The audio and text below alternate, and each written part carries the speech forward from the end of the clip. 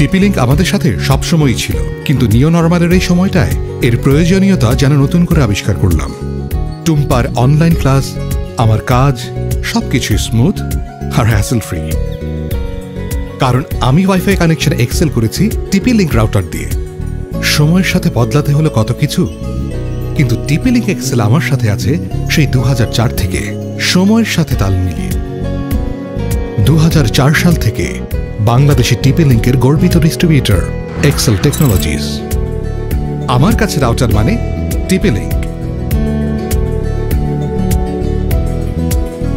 TP link excel excel your Wi-Fi experience